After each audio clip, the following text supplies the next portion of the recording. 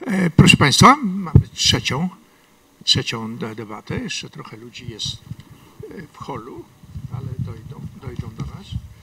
E, Ja nie będę opatrywał żadnym wstępem. Jaki jest temat? Wszyscy wiedzą, w jakim sensie to jest pytanie z tego referendum, którego sensowność w ogóle całego referendum można kwestionować. To jest pytanie najbardziej absurdalne ze względu na to, iż została podjęta w tej sprawie już e, sejmowa decyzja. Tym niemniej jako problem intelektualny, a być może e, e, będzie to ponownie dyskutowane, jeżeli m, argumenty sceptyków e, y, zwyciężą. W każdym razie na pewno jest to, jest, to, jest to interesujący temat, jeżeli chodzi o samą logikę prawną, e, jak i również jeżeli chodzi o konsekwencje zarówno finansowe, jak i polityczne nawet, prawda, tego uregulowań w tej dziedzinie i praktyki bardziej niż uregulowań prawnych.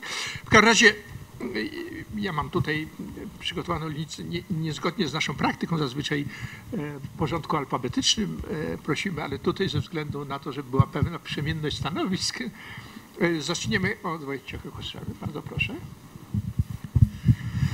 Dziękuję bardzo. E, Ja właśnie nie wiem, na ile będziemy mieli różne stanowiska. To sam, e, sam sobie zadaję to pytanie, ale być może rzeczywiście się z taką e, sytuacją spotkamy. Ja chciałbym dzisiaj wystąpić nawet bardziej jako wiceprezes Polskiej Rady Biznesu niż jako szef ITI czy wiceprezes TVN-u, bo tak naprawdę zasada in dubio pro tributario to była było żądanie i oczekiwanie z organizacji biz- biznesowych od wielu, wielu lat. I e, pan prezydent Komorowski był e, tą pierwszą osobą, która e, wsłuchała się w to oczekiwanie i e, zdecydowała się też wpisać to e, do własnego programu do, na własną li, listę zadań. My rzecz, rzeczywiście e, zdawaliśmy sobie sprawę, że to chodzi o gest symboliczny. E, Nie ma takiej możliwości, aby e, na skutek e, wprowadzenia stosownego zapisu do ordynacji podatkowej e, raptem e, zmieniła się z dnia na dzień praktyka. Natomiast e, w rzeczywistości, codziennej rzeczywistości pracy e, administracji fiskalnej symbolika jest równie ważna jak e, e, fakty e, dokonane i myślę, że to jest coś, co miejmy nadzieję zmieni też tą polską rzeczywistość. Symbolicznie zmienia trochę asymetryczność, jeśli chodzi o siłę działania i ewentualnie represywność. E, Podatnik tak naprawdę ma ograniczone e, możliwości e, obrony swojej pozycji e, i wielu mniejszych podatników e, e, w obliczu omnipotencji aparatu skarbowego niestety e, musi e, kapitulować. E, Tutaj jest szansa, e, aby to się z czasem, jeżeli tylko e, władze, e, jeżeli Ministerstwo Finansów będą konsekwentnie propagowały też e, takie wdrażanie polityki, to tutaj mamy szansę, że to się e, z czasem e, zmieni. E, Wspominając o po- podatnikach, e, w zasadzie dotknąłem też e, istotnego tematu, który pojawia się w dyskusji, kto tak naprawdę zyska. Zresztą e, również to pytanie pojawiło się e, w zaproszeniu do dzisiejszego spotkania, na dzisiejsze spotkanie. E, Czy wielkie przedsiębiorstwa, czy małe firmy? Myślę, to mówię z perspektywy kogoś, kto sterował przez dziesięciolecia wielkimi przedsiębiorstwami, że dla wielkich przedsiębiorstw akurat się wiele nie zmieni, dlatego że duże firmy mają zasoby, aby e, wdawać się nawet w wieloletnią e, dyskusję z władzami podatkowymi, jeżeli tylko, czy z administracją podatkową, jeżeli tylko widzą w tym sens. Natomiast e, oczekuję e, znacznej poprawy, jeśli chodzi o los e, e, małych e, przedsiębiorstw, średnich przedsiębiorstw, a na pewno nie oczekuję pogorszenia. E, I tym samym, żeby nie wyczerpać zbyt e, wielu tematów, bo one jest nas pięcioro, to oddam głos e, pani minister. Tak. Szanowni Państwo, na wstępie chciałabym powiedzieć, że z zasadą interpretacji przepisów prawa na korzyść podatnika, czy tę zasadę tę należałoby rozpatrywać w dwóch aspektach, w tym konkretnym przypadku, w którym, czy w tej konkretnej sytuacji, w której jesteśmy dzisiaj. Y, Po pierwsze, wprowadzenie jej do systemu prawa. Y, I to jest jeden obszar oceny tej zasady. I po drugie, zasadności e, pytania referendalnego. Otóż e, moim skromnym zdaniem e, ja nie popieram tego pytania w referendum. I to zdecydowanie, dlatego że ta zasada nie ma charakteru zasady ustrojowej. Referendum jest zbyt ważną instytucją dla państwa z punktu widzenia szacunku dla państwa i prawa, y, aby można było je rozmieniać na drobne. To jest ważna zasada dla podatników, to jest ważna zasada dla organów podatkowych, ale proszę Państwa, zasada indubio pro tributario w mojej ocenie jest następstwem co najmniej dwóch, dwóch sytuacji, czy dwóch zdarzeń, czy dwóch doświadczeń. Jedno to jest y, niska jakość prawa podatkowego. Niestety pogarszająca się systematycznie jakość prawa podatkowego, y, co powoduje, że, mm, co powoduje, że jest potrzeba interpretacji tego prawa y, i doświadczenia, y, doświadczenia biznesu y, niestety nie są najlepszymi doświadczeniami. Stąd ta inicjatywa, stąd ta inicjatywa pana prezydenta. Myślę, że, y, że ona y, zrodziła się, czy tak obserwuję dyskusję w tej materii, po prezentacji filmu Dług. Nie wiem, czy Państwo ogl- oglądaliście. I po tym filmie jakby ocena systemu podatkowego i administracji podatkowej y, wychyliła się na niekorzyść w stopniu maksymalnym, jak się wydaje. E, I zaczęto poszukiwać jakiegoś rozwiązania, a zasada indubio pro tributario w mojej ocenie jest zasadą z obszaru kultury stosowania prawa. Kultury prawa i kultury stosowania prawa, a nie, a nie zasadą, e, która rozwiąże problemy, e, problemy stosowania prawa w całości i, i, i, i będzie jakimś remedium, czy będzie rozstrzygała na korzyść podatnika wszystkie jego wątpliwości, bo oczywiście tak być nie może. Jesteśmy państwem prawa i w państwie prawa liczy się przede wszystkim norma prawna i dopiero wtedy, kiedy ta norma prawna albo brak jej, bo też tak bywa, że trzeba zastosować do konkretnego stanu faktycznego przepisy prawa i wtedy, kiedy ta norma jest niepełna albo kiedy ta norma jest wątpliwa, to wtedy, wtedy zapewne będzie stosowana ta zasada. I drugi obszar, obszar yy, poza jakością prawa, to jest sposób stosowania prawa.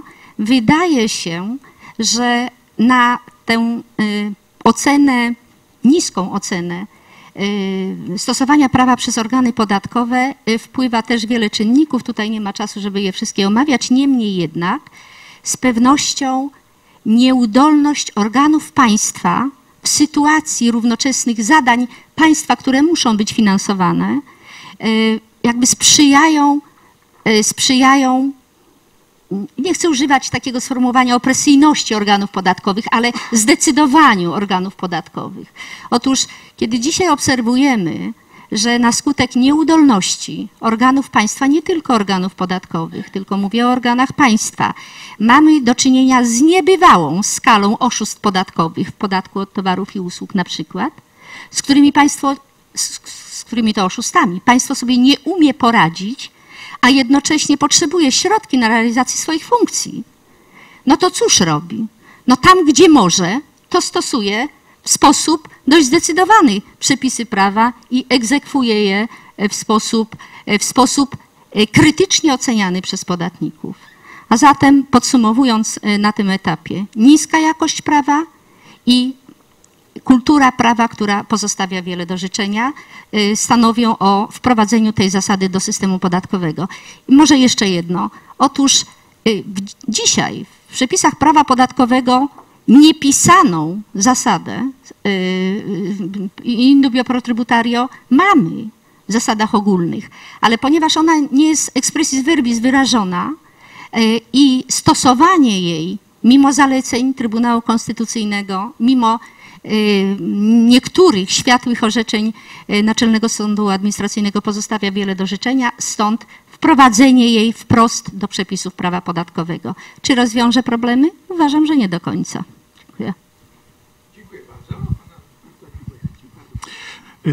Dziękuję. Bardzo. Proszę Państwa, ja chciałem zaprezentować krótkie spojrzenie na to trzecie pytanie referendalne z punktu widzenia prawnika, ale karnisty. I teraz możecie Państwo zadać sobie pytanie, no dobrze, a co karnista może powiedzieć na temat zasady indubio pro tributario? No nie chcę powiedzieć, że bardzo wiele, ale myślę, że coś może powiedzieć, bo my, znaczy karniści, prawo karne od wieków znam, mógłbym powiedzieć ojca czy matkę tej zasady, zasadę indubio pro reo, czyli zasadę rozstrzygania wątpliwości na korzyść oskarżonego. I chciałbym teraz powiedzieć dosłownie w paru zdaniach o tej zasadzie, jak ona jest rozumiana w prawie karnym, o orzecznictwie i piśmiennictwie i, stanowisku piśmiennictwa co do tej zasady, bo to może mieć bardzo istotne znaczenie dla rozumienia, interpretowania tego, co zostało zaprezentowane w pytaniu referendalnym i w ustawie, która została już uchwalona. Nie do końca tutaj podzielę, zgodzę się z panem profesorem, że, że to jest pytanie absurdalne. Zaraz pod koniec mojej wypowiedzi spróbuję wytłumaczyć, dlaczego uważam, że, nie do, że, że tylko w pewnej warstwie jest absurdalne. Indubio pro reo w prawie karnym bierze się stąd, że w każdym procesie poznawczym, także w procesie poznawczym sędziego występują trudności, których nie może rozstrzygnąć. Różnie prawnicy, różnie prawo te sprawy rozwiązywało.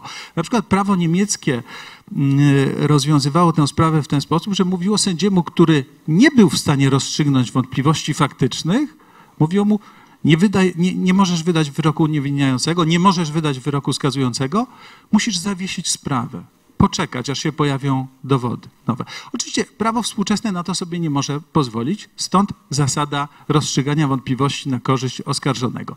I wykształcone od lat w orzecznictwie, nie tylko orzecznictwie sądów polskich, ale wszystkich krajów europejskich, zasady mówią, że zasadę rozstrzygania wątpliwości na korzyść oskarżonego można stosować szeregu układów procesowych, ale dwa kryteria są najistotniejsze i będę chciał do tego nawiązać, bo to jest bardzo istotne z punktu widzenia zasady indubio pro tributario. Po pierwsze wtedy, kiedy wątpliwości się nie da rozstrzygnąć.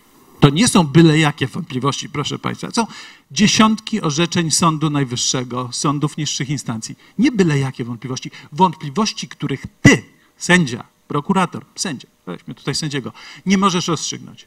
Druga sprawa to są wątpliwości nie kogokolwiek, ale wątpliwości sędziego. Nie moje, nie strony, nie adwokata, nie prokuratora, sędziego. Dwie podstawowe sprawy, bardzo istotne z punktu widzenia, spojrzymy teraz za, za, za chwilkę, odniosę je do zasady indubio pro tributario. Ale proszę Państwa, na pewno y, y, słyszycie Państwo, że, że ja mówię o wątpliwościach faktycznych. Czy zasada y, ta znana prawu karnemu, indubio pro reo, rozstrzygania wątpliwości na korzyść oskarżonego stosuje się również do prawa. Do 1 lipca tego roku rzeczywiście przyjmowało się w orzecznictwie i piśmiennictwie, że tę zasadę również stosuje się do wątpliwości o charakterze prawnym, bo nie było żadnego żadnej blokady, żadnego zastrzeżenia w ustawie. Po 1 lipca to się zmieniło i ustawodawca karny, co ma znaczenie dla problematyki, o której rozmawiamy, zrezygnował z szerokiego ujęcia zasady rozstrzygania wątpliwości na korzyść oskarżonego i skalibrował ją. Nie będę teraz powoływał przepisu, przepis artykułu 5 paragraf 2 kodeksu postępowania karnego, każdy może sobie do niego zajrzeć. W każdym razie po 1 lipca skalibrował tę zasadę w ten sposób, że będzie ona dotyczyła wyłącznie wątpliwości natury faktycznej. Dlaczego, proszę Państwa? Dlatego, że z tradycją zachodnich systemów prawnych, że wszelkie wątpliwości natury prawnej, interpretacyjnej da się rozstrzygnąć. Znaczy, to jest fakt, może nie, nie tradycja, to jest fakt. Nie ma takich sytuacji jak w przypadku wątpliwości faktycznych. Umarł nam świadek, nie mamy dokumentu, nie mamy metody naukowej, nie jesteśmy w stanie ustalić faktu, ale, ale nie możemy powiedzieć, oskarżonemu, nie możemy powiedzieć stronom, to poczekajcie 3 lata, zobaczymy co z tym świadkiem, poczekajcie 10 lat. Musimy rozstrzygnąć proces. Z prawem nie ma takich kłopotów. Każdy prawnik, sędzia, urzędnik aparatu skarbowego będzie w stanie rozstrzygnąć wątpliwości natury prawnej. Od tego jest jurysprudencja, od tego są dziesiątki dyrektyw interpretacyjnych stosowanych od tysięcy lat w naszej kulturze prawnej. Więc nie ma takiej zasady, takiej, takiej wątpliwości, której nie można e, rozstrzygnąć. Teraz chciałem przenieść te, te, te ustalenia na, na grunt e, zasady indubio pro tributario. Odniosę się w pierwszej kolejności do tej zasady, która została sformułowana w pytaniu referendalnym. Otóż brakuje tam dwóch słówek bardzo istotnych, które są w kodeksie postępowania karnego i które są w uchwalonej już ustawie. Otóż ustawa odnosi, tak, w taki sposób profil, y, konfiguruje tę zasadę, że chodzi o wątpliwości, których nie da się usunąć. Zgoda, zgoda. Tak karniści od wieków pojmowali tę zasadę, tak sądy ją rozumieją. Chodzi tylko o wątpliwości, których nie, może, nie możesz usunąć. Nie może sędzia usunąć, nie może ten, kto decyduje o sprawie usunąć.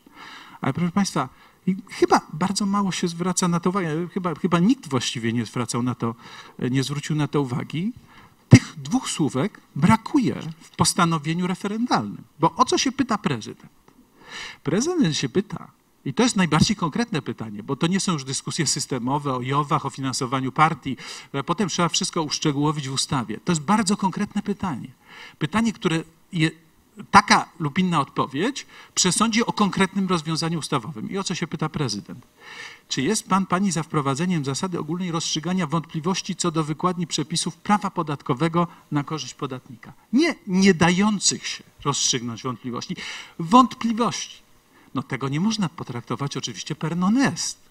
No na to nie pozwala między innymi wieloletni dorobek orzeczniczy y, sądów karnych. Nie chodzi o nie dające się rozstrzygnąć wątpliwości, ale wątpliwości. Co to znaczy?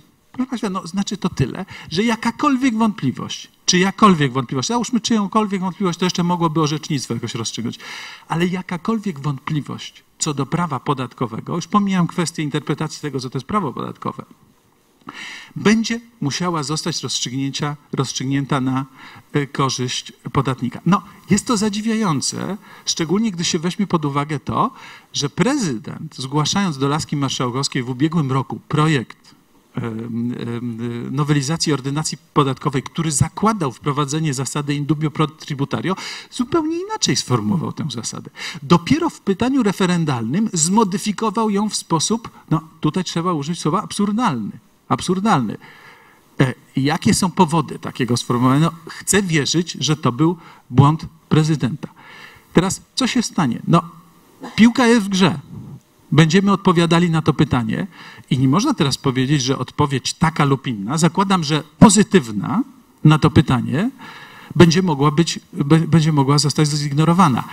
Jeżeli będzie frekwencja, odpowiedź będzie wiążąca i trzeba będzie znowelizować właśnie znowelizowaną ordynację podatkową w ten sposób, że się usunie z niej te dwa słowa, nie dające się usunąć wątpliwości.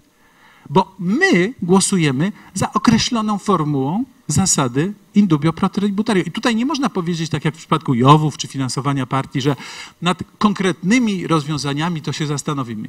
Tu jest konkretne rozwiązanie, konkretny przepis zaproponowany. Zresztą tak to jest w, w odpowiedziach. Krótko mówiąc, jestem zdecydowanie przeciwny takim, takiemu sformułowaniu pytania referendalnego e, i takiemu ujmowaniu e, zasady e, indubio pro tributario. Dziękuję bardzo. Dzień dobry Państwu, serdecznie dziękuję za zaproszenie. Odniosę się do tego tematu w kontekście trzech takich aspektów, e, które w tym pierwszym wprowadzeniu jeszcze pan profesor Smolar na samym początku mówił, żeby spojrzeć przez pryzmat pewnej wagi znaczenia tematu, pewnego sposobu postawienia pytania, jego treści, a także jest jeszcze ten trzeci element tych pewnych Y, okoliczności y, politycznych. Ja może te, ten trzeci wymiar polityczny y, pominę, ponieważ nie specjalizuję się w analizach politycznych, natomiast chciałbym spojrzeć na to bardziej oczami jednak makroekonomisty. I wydaje mi się, że po pierwsze dwa pytania referendalne, które są jako pierwsze, pierwsze odnosi się do systemu wyborczego, drugie do finansowania partii, są to pytania, które abstrahując od odpowiedzi, na pewno rozpoczynają ważny proces jakiejś debaty publicznej w Polsce. To pytanie y, trzecie zdecydowanie jest już takim pytaniem post factum, dlatego ponieważ, tak jak powiedzieliśmy przed chwilą, ta ustawa została już wprowadzona. Według mojej oceny to, co zostało przyjęte, ma bardziej wymiar symboliczny niż realny. Dlaczego? Ponieważ uważam, że brakuje tutaj pewnego rodzaju dookreślenia i przepisów, które mówią w jakich sytuacjach jak to stosować. Ponadto, cofając się wstecz, zgodnie z konstytucją wcześniej już e, tego typu reguły i tego typu zasady powinny być stosowane w orzecznictwie, chociaż e, być może nie było to aż tak bardzo zauważalne. Dlatego zdecydowanie od strony wymiaru symbolicznego to jest bardzo pozytywne. Tak państwo chciałoby w to wierzyć. Chciałoby. Pytanie, czy zawsze będzie to stosować.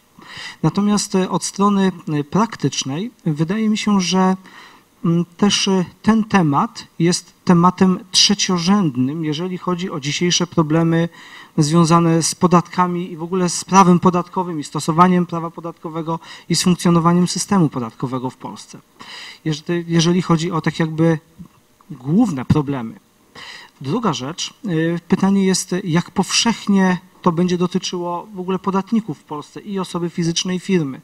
To nie będzie dotyczyło więcej niż 1% podatników. Przynajmniej jest taka moja y, szacunkowa ocena. To będzie bardzo rzadki przypadek. Kolejna sprawa odnosi się do, y, oprócz tej rzadkości tego problemu, to jest y, kwestia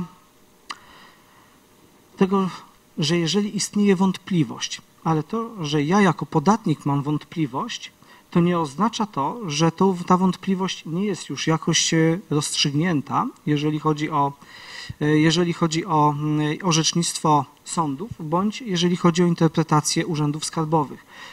To, że ja jako podatnik mam wątpliwość, w mojej ocenie jeszcze mm, niewiele to przesądza. Kolejna kwestia to jest kwestia mm, pewnej możliwości wykorzystania tego narzędzia w różnego rodzaju sporach. E, mam przeczucie, że w większym stopniu e, beneficjentem tego rozwiązania raczej będą większe przedsiębiorstwa niż tak zwany drobny, zwykły podatnik, zarówno jako osoba fizyczna bądź jako osoba prowadząca działalność gospodarczą, gdyż tego typu podatnicy rzadziej przysłowiowo chodzą po bandzie. Czyli pewne, po pierwsze, korzystają z albo uczestniczą w procesach, które mogą rodzić bardziej skomplikowane Y, skutki podatkowe bądź bardziej złożone sytuacje, które wymagają takich rozstrzygnięć, a poza tym y, również kwoty, o które potencjalnie walczą, są mniejsze. Natomiast w obecnym systemie również duże koncerny, duże firmy y, są na tyle silne, żeby korzystać i z aparatu, i z instrumentarium, żeby mm, poprzez sprawy sądowe w wojewódzkich sądach administracyjnych jednak do pewnych rzeczy dochodzić. Y, pytanie jest jeszcze o tą właśnie wątpliwość, którą nie wiadomo jak rozstrzygnąć. Otóż e, pytanie jest, kto tę wątpliwość ustala? Czy ja jako podatnik, czy tą wątpliwość wyznacza Urząd Skarbowy? Ja bym chciał, żeby było tak, a Urząd Skarbowy inaczej. Tu pewnie wątpliwości nie będzie. Poza tym, jeżeli dochodzi do tego typu wątpliwości i nawet jeżeli wojewódzki sąd administracyjny ma jakąś trudność, bądź naczelny sąd administracyjny, to istnieje jeszcze pewna procedura przez, prowadzona przez naczelny sąd administracyjny, który może pewne pewną zasadę wyznaczyć, tak jak było w przypadku zysków e, dla akcjonariuszy w spółkach komandytowo-akcyjnych. Po prostu można te wątpliwości systemem prawnym jednak wskazać i wyznaczyć. Pod tym względem wydaje mi się, że od strony symboliki i jakiegoś takiego zaakcentowania tematu w obiegu publicznym, w debacie publicznej, kierunek jest właściwy. Ale jeżeli chodzi o treść, którą to wnosi, to ja uważam, że ta treść tego rozstrzygnięcia ustawowego jest po prostu e, bardzo uboga. Odnoszę się, odniosę się jeszcze do samego referendum. E, otóż e, zgodnie z konstytucją, jeżeli, jeżeli przygotowujemy, jeżeli zgłaszamy jakiś temat pod referendum, powinien on odnosić się do spraw istotnych ustrojowo.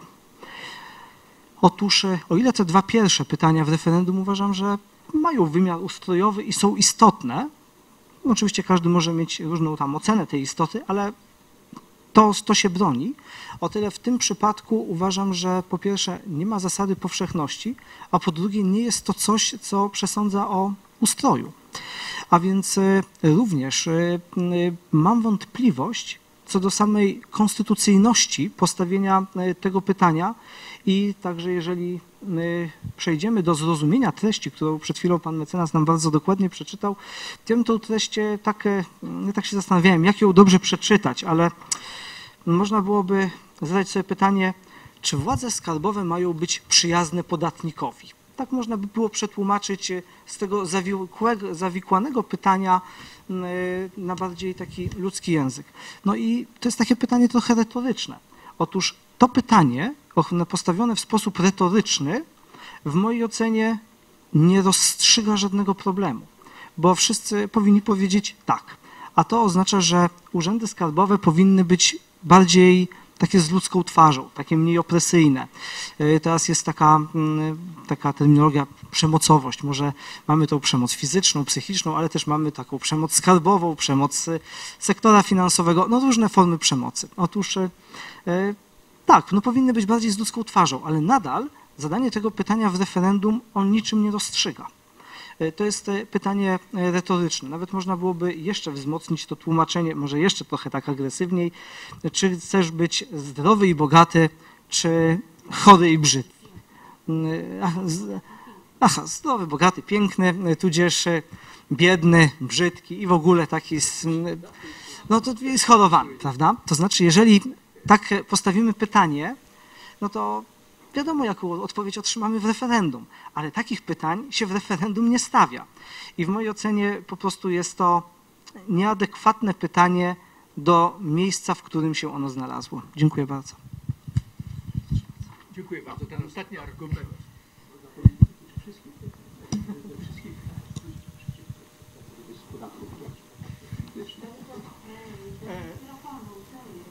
Proszę? A przepraszam bardzo, że, że ta ostatnia uwaga dotyczy wszystkich trzech pytań. We wszystkich krajach ludzie są przeciwko temu, aby z podatków finansować partie, bo partie, e, e, prawda, e, polityki.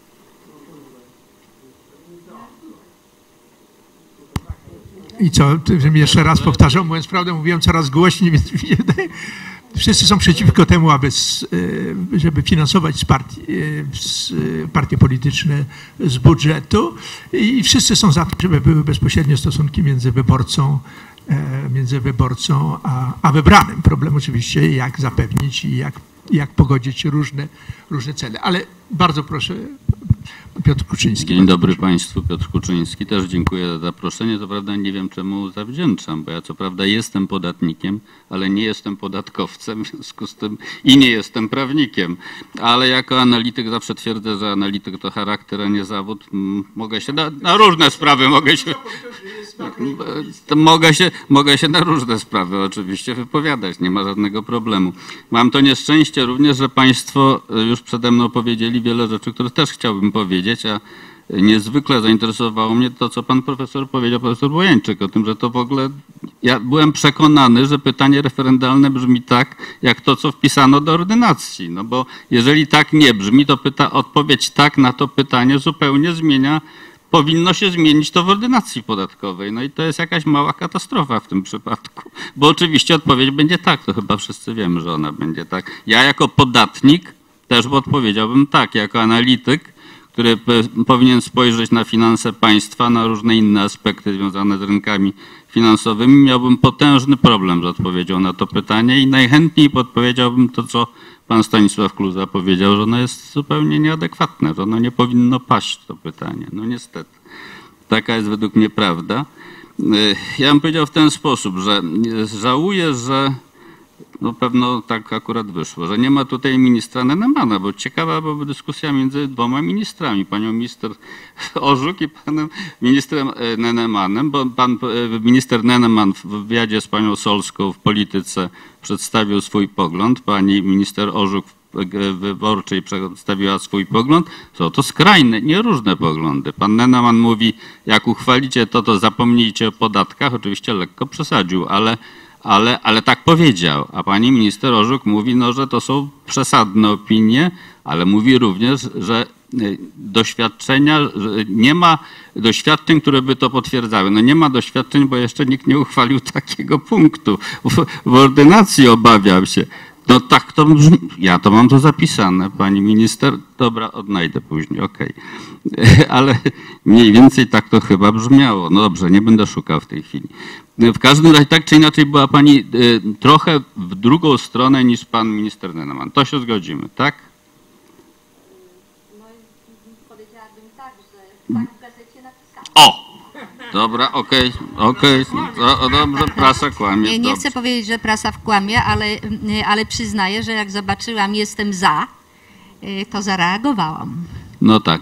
No tytuł to jest zupełnie inna sprawa. Tytuły prasa nadaje jakie chce. Sam czasami się budzę ze zdziwieniem, że to powiedziałem, także to, to jest normalne. E, e, tak, no ale wróćmy, wróćmy do, do tematu. Według mnie istnieją w tym momencie dwa skrajne scenariusze i oczywiście wiele odcieni szarości po drodze. No, to znaczy ten skrajny taki, że przepis będzie literalnie stosowany i rzeczywiście podatnik będzie miał zawsze rację, jeżeli będzie wątpliwość, Czyli rzeczywiście pe- pełna katastrofa i drugi, że przepis po prostu będzie martwy i nie będzie nigdy stosowany, co według mnie jest bardziej prawdopodobne, zdecydowanie bardziej. Bo ja się zgadzam, to jest raczej kultura stosowania niż y, to, co jest zapisane. No nie da się nakazać urzędnikowi czegoś. Ale są oczywiście wszystkie te rzeczy, o których tu Państwo mówili o wątpliwościach, one się pojawiają, bo one się pojawić muszą. Tak jak pan profesor Bojańczyk mówił, że w prawie karnym to sędzia musi mieć nieusun- y, wątpliwości, które się nie dają usunąć. Sędzia, sędzia. A tutaj kogo mamy? No nie mamy, sędzi, nie mamy sądu, mamy tylko z jednej strony urząd skarbowy, z drugiej podatnika. W związku z tym kto z nich? Jeżeli żaden z nich, to musi być sąd. A jeżeli nie sąd, to trzeba powołać nowy urząd żeby roz, mówił, czy, czy istnieją takie nie dające się usunąć wątpliwości, czy nie. No jakaś mała katastrofa tu się rysuje, bo nie bardzo widać, kto miałby to o, o tym mówić. Dalej, jeżeli chodzi o duże, małe spółki, yy, pan yy, Kostrzewa mówił, że zyskają na tym bardziej mali podatnicy. Ja chyba trochę wątpię. Znaczy nie wierzę, że duzi, bo to oni, tak jak pan powiedział, mają swoje sztaby prawne, to oni i tak sobie wywalczą, co będą, yy, co da, da się wywalczyć. Ale mali właśnie mają za mało tych możliwości skorzystania z prawa, bo nie mają tyle pieniędzy po prostu. I nie wiem, czy oni by tak na tym skorzystali. Tutaj mam wątpliwości, ale tego się nie da udowodnić, więc nie będę w to wchodził. Jeszcze jest jeden element, który bardzo według mnie tutaj może szkodzić, mianowicie tutaj pani minister pewno będzie wiedziała, na pewno będzie wiedziała lepiej. Unia Europejska zalecała, tak by czytałem, aby wprowadzić do polskiego prawa klauzulę przeciwko unikaniu opodatkowania, prawda? Ona na razie nie weszła, ale ma wejść kiedyś. Jeżeli ona wejdzie, czy ona, panie profesorze, nie będzie sprzeczna z- tym, żeby wątpliwości na korzyść podatnika, no bo jeżeli urzędnik będzie mógł powiedzieć, że ty o- omijasz prawo, no to, no to bez, bez podstawy prawnej, tylko na zasadzie takiej, że powiedzmy cena trans, y, transferowa, jakaś cena mu się nie spodoba i powie, że to jest omijanie prawa, no to wtedy to będzie sprzeczne z tą zasadą. No coś tutaj też nie gra, tak mi się wydaje. I zupełnie nie rozumiem, dlaczego e, nie skorzystano z propozycji, jak rozumiem, Ministerstwa Finansów, bo tak to minister Neneman przedstawił w polityce, e, w ordynacji podatkowej, w której e, on mówił, że Ministerstwo Finansów proponowało, żeby w przypadku różnych wyników i wykładni przepisów prawa podatkowego organ podatkowy przyjął wykładnię korzystną dla strony postępowania. To się wydaje oczywiste i całkiem fajne. Tylko oczywiście znowu się pojawia problem, kto by y, y, miał y, wyrokować, że istnieje taka sytuacja. No. Bo, bo, bo to jest mnóstwo rzeczy, które, się, które są zupełnie nieuregulowane i wpisanie tego w chwili amoku wyborczego według mnie przez posłów do, do ordynacji no, prowadzi do, do, dużych, do dużych zawirowań. Yy, Tak, no i, i w sumie podsumowując, bo jeżeli by rzeczywiście to miało mieć to, co powiedziałem w tym e, jednym scenariuszu i drugim, duży wpływ na wydawanie e, opinii or- organu podatkowego, no to niewątpliwie będzie to z uszczerbkiem, dla Skarbu Państwa, niewątpliwie te miliardy, które miano zebrać tych 50 miliardów uszczupleń VAT-u, to się gdzieś tam rozwieją według mnie y, w powietrze, będzie to, to bardzo trudno, ale nie wierzę, żeby to było tak stosowane, bo administracja podatkowa będzie y, tak działała, jak jej każe minister finansów, a nie jak jej każe ten przepis, który będzie, obawiam się, przepisem martwym, bo państwo będzie potrzebowało pieniędzy, naszych pieniędzy. Dziękuję bardzo. E, Zanim Państwu oddam głos, tutaj była z nami jeszcze przed chwilą pani profesor Hojna-Duch, która musiała niestety wyjść na inną konferencję, ale zostawiła mi tekst na ten temat I ja tylko parę zdań przeczytam. E, Cały tekst jest za dłuższy, żeby go odczytywać. Cały tekst jest za duży, żeby go odczy- odczytywać, ale e, formuła in dubio pro tributario budzi szereg wątpliwości, w tym następujące. Czytam wyłącznie tytuły. Przeciwstawia interes indywidualny podatnika interesowi publicznemu. Dwa, zakłada niską jakość prawa podatkowego. Trzy, zakłada brak wystarczającej i skutecznej ochrony podatnika przez organy państwa w toku postępowania podatkowego. I y, cztery, nowy instrument prawny nie rozwiązuje problemu niejednoznaczności prawnej. I teraz podsumowanie krótkie, ograniczę się do tego. Artykuł 2a może budzić wątpliwości, gdyż obniża zasady kultury prawnej demokratycznego państwa i w świetle orzecznictwa Trybunału Konstytucyjnego jako niezgodny z konstytucją, wychodzący poza jej standardy i podstawowe zasady prawne równości praw stwarza iluzję poprawy jakości prawa i jego stosowania wobec braku klarownych systemowych rozwiązań. Może wręcz okazać się zagrożeniem przykład w walce z międzynarodowym unikaniem opodatkowania, zwłaszcza uchylaniem się od płatności VAT czy unikaniem CIT w skali ponadnarodowej. To także dodatkowa oręż dla prawników międzynarodowych holdingów budujących agresywne strategie optymalizujące bezstronność i ro- e, 09 bezstronności i, rozstrzy- i rozstrzygnięć i dbałości o wyjaśnienie wszystkich aspektów sprawy, sprawy z pokrzywdzeniem budżetu. Przepraszam, to przeczytałem e, tylko tyle i teraz, e, teraz damy głos e, Państwu. Bardzo proszę. Halo. E, Marcin Małek ze Stowarzyszenia Społeczna Idea z Białego Stoku. Chciałem panu mecenasowi bardzo podziękować za e, taką wnikliwą interpretację. E, Moim zdaniem to pytanie ma jeden podstawowy plus, ponieważ jasno pokazuje, że, ta, że ustawa ordynacja podatkowa jest po prostu do wymiany. Bo jeżeli zadajemy pytanie referendalne dotyczące trudności nie dających się rozwiązać wykładni ustawy, to znaczy, że ta ustawa jest po prostu źle napisana. Jakby to jest moim zdaniem podstawowy problem. Oczywiście trochę się śmieję, że to, bo zgadzam się całkowicie, że to pytanie w ogóle nie powinno paść, szczególnie w takim brzmieniu, a też sygnali, pojawia się ba, druga bardzo ważna rzecz, że e, wykładnia ordynacji podatkowej e, prowadzona przez urzędy skarbowe jest tak daleko posunięta, że właściwie przesuwając się z terenu jednego urzędu skarbowego do drugiego, jakbyśmy trochę zmieniali system prawny. To też trzeba na to zwrócić uwagę. I to jest moim zdaniem bardzo poważny znak ostrzegawczy, że e, sprawa ordynacji podatkowej, którą mówimy, że jest słaba, kiepska, ona nie jest kiepska, ona jest po prostu generalnie do niczego już od dłuższego czasu i polskie prawo podatkowe, to, że większe podmioty sobie radzą lepiej niż mniejsze, no oczywiście, że sobie większe radzą lepiej niż mniejsze, ponieważ e, skala niedomówień w ustawie ordynacji podatkowej jest tak duża, że, że, że pozostawia ogromną możliwość e, interpretacji tego w zależności od potrzeb. Dziękuję.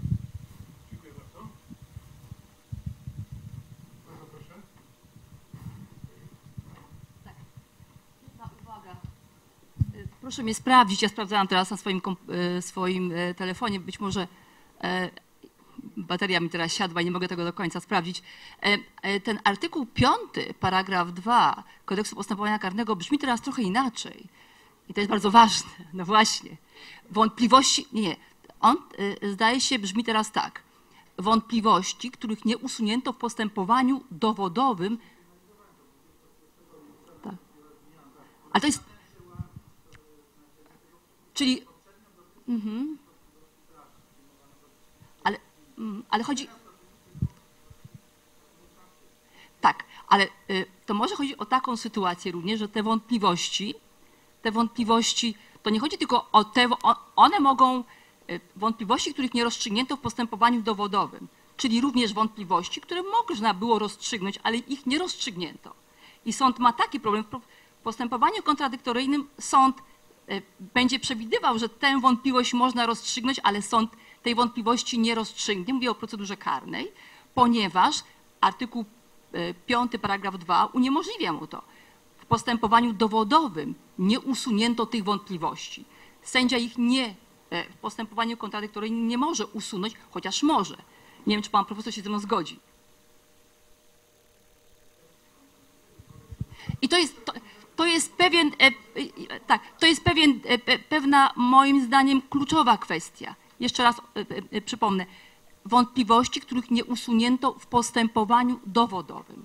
Czyli również wątpliwości, których można było usunąć, ale one nie zostały usunięte. Rozstrzyga się na korzyść oskarżonego. Cytuję przepis z kodeksu karnego, bo tym się zajmuję, więc tylko taka uwaga. Dziękuję bardzo.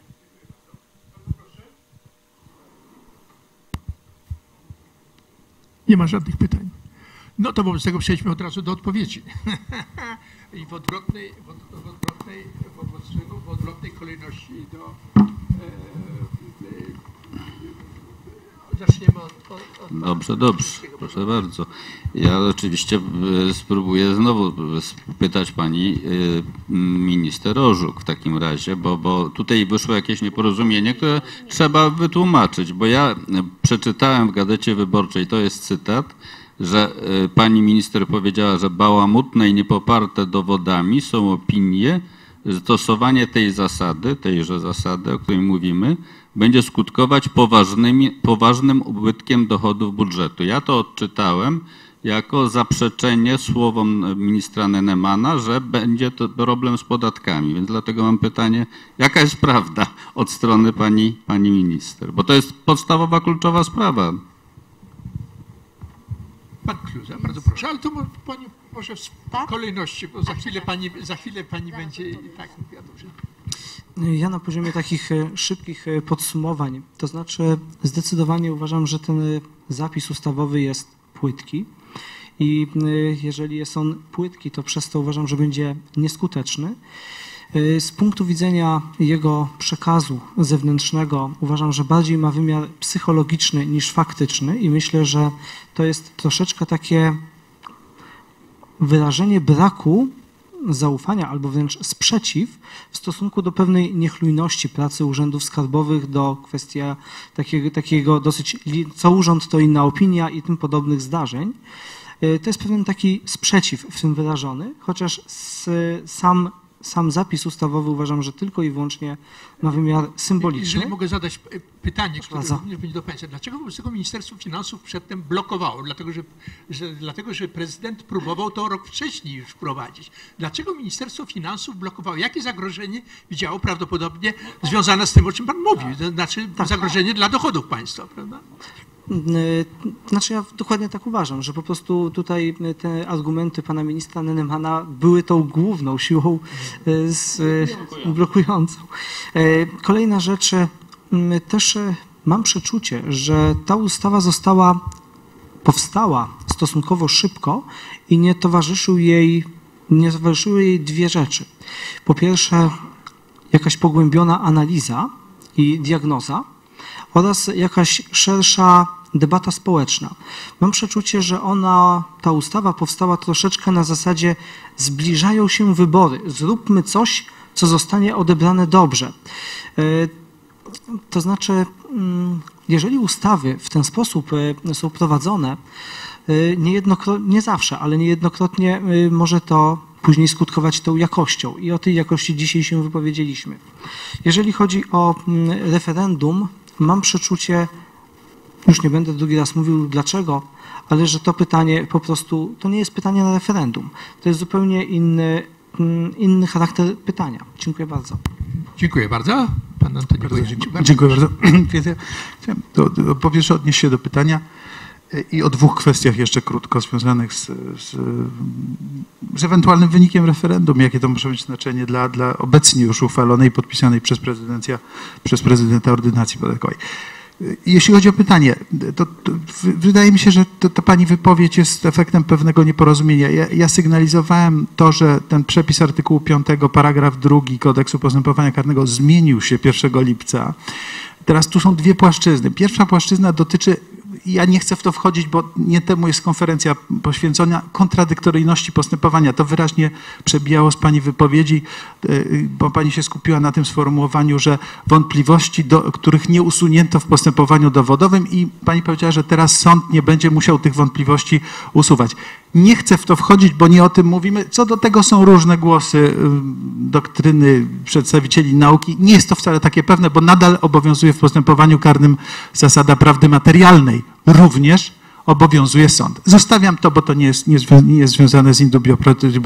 Ważniejsza sprawa to prawidłowe rozumienie tej zmiany z punktu widzenia ewentualnego aplikowania indubio pro reo do wątpliwości prawnych przed, w procesie karnym. Przed 1 lipca, ponieważ przepis brzmiał nie dające się wątpliwości rozstrzyga się na korzyść oskarżonego, nie było żadnych wątpliwości co do tego, znaczy przeważająca część y, przedstawicieli nauki, praktyki była zwolennikami tezy, że również przepis dotyczy wątpliwości natury prawnej. Po 1 lipca sprawa się zmieniła i tutaj Mogą być różne, zmiany, e, różne zdania na ten temat, ale również sama komisja kodyfikacyjna wypowiedziała się w sposób absolutnie jednoznaczny, że zmiana polegająca na tym, że się wprowadza to sformułowanie w postępowaniu dowodowym, definitywnie przesądza jakiekolwiek spory co do tego, czy zasada indubio pro reo dotyczy wątpliwości faktycznych czy prawnych. Dotyczy wyłącznie wątpliwości faktycznych. Skąd, stąd ten, to, to, to, to, doprecyzowanie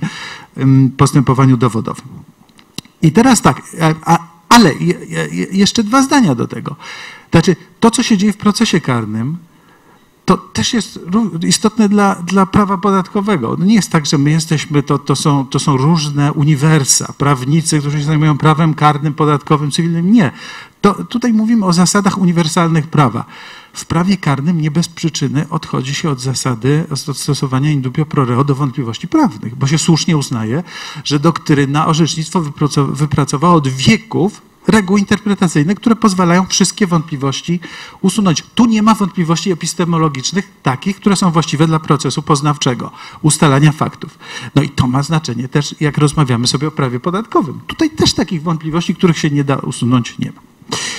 Druga sprawa. Krótko chciałem, może w taki bardzo schematyczny sposób powiedzieć, w jaki sposób będzie się e, sąd, sędzia będzie rozwiązywał wątpliwość na gruncie obecnego stanu prawnego, stanu prawnego sprzed uchwalenia nowelizacji ordynacji podatkowej i stanu po, załóżmy, przyjmijmy model, hipotezę, że e, jest frekwencja, referendum, e, e, jest, jest odpowiedź pozytywna na trzecie pytanie i wchodzi, i parlament uchwala nowelizację w tej formie, to znaczy bez słów nie dające się, nie dające się rozstrzygnąć wątpliwości, tylko wątpliwości. Teraz tak, na gruncie obowiązującego stanu prawnego.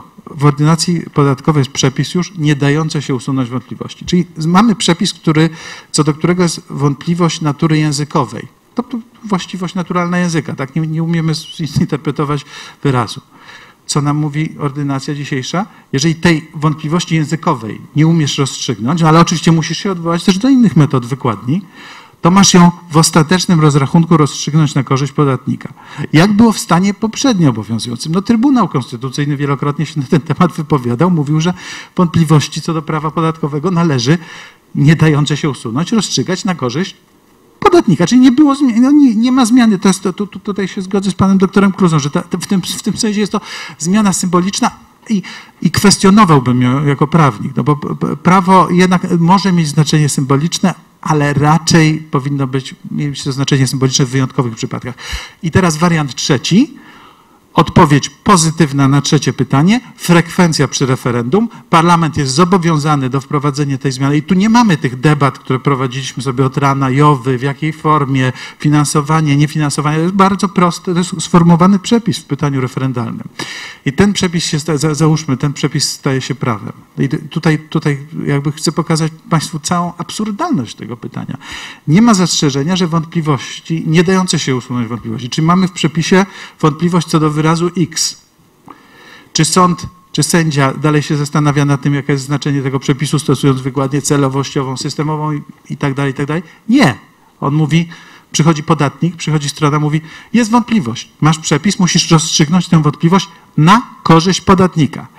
I pojawiły się takie głosy na sali, I to też pan doktor Kluza o tym mówił, że właściwie to należałoby ten przepis tak interpretować jako taką ogólną mm, e, myśl, że trzeba korzystnie prawo interpretować, prawo, e, e, organy, organy stosujące prawo powinny być przychylne dla podatnika.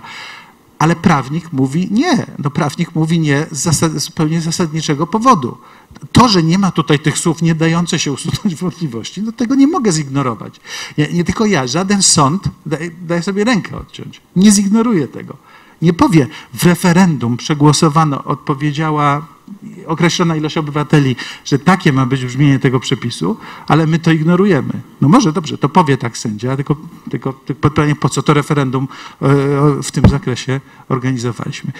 Y, I e, trzecia kwestia to już dosłownie dwa zdania. Gdyby były wątpliwości, to, to będzie piętrowe, gdyby były wątpliwości co do tego, w jaki sposób interpretować e, to sformułowanie wątpliwości co do wykładni przepisów prawa podatkowego, czy to należałoby je zinterpretować na korzyść podatnika, a zatem uznać, że nie ma tam słów nie dające się rozstrzygnąć wątpliwości, bo to by, by bo, bo tak, tak, tak, oczywiście, tak, dziękuję bardzo. Szanowni Państwo, otóż ym, y, ja na, w, w poprzedniej swojej wypowiedzi powiedziałam, że to jest y, przepis czy pytanie referendalne, ale też i przepis, który został uchwalony, nie rozbierając, nie, nie dokonując egzegezy tego przepisu prawniczej, że, on, y, że to jest przepis z obszaru kultury prawa. Y, Prezentując takie stanowisko, y, uważam, że oczywiście nie ma zagrożenia dla dochodów budżetowych i jest możliwe znalezienie konsensusu między przyszłą zasadą wynikającą z zastosowania klauzuli obejścia ustawy. Y, Natomiast y, ona nie weszła, y, ta klauzula była proponowana przez ministra finansów, nie weszła w życie z prozaicznego powodu. Zalecenie Komisji Europejskiej ogranicza klauzulę do podatków dochodowych. Nasz minister finansów postanowił wykorzystać okazję i zastosować klauzulę do wszystkich podatków z wyjątkiem podatków lokalnych, które traktuje po macoszemu, bo też nie ma powodu, dla którego podatki lokalne należy stosować po macoszemu, bo to nie moje dochody, tylko e, do podatków, nazwijmy je państwowych, czyli zasilających budżet państwa e, i rozciągnął e, klauzulę na wszystkie podatki. Na wszystkie podatki, powielając także regulacje, które już dzisiaj są w systemie prawa podatkowego. Klauzula obejścia ustawy w podatkach dochodowych w wielu obszarach, szczególnie w obszarze restrukturyzacji, optymalizacji podatkowych związanych z restrukturyzacjami istnieje.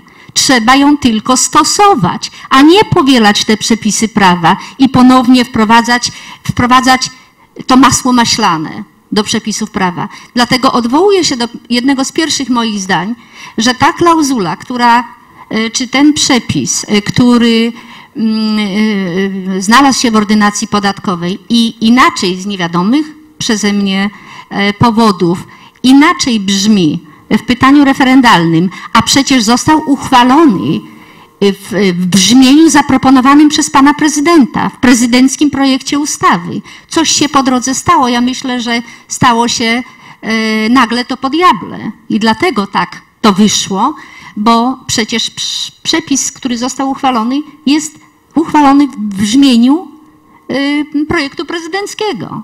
Natomiast pytanie jest inne.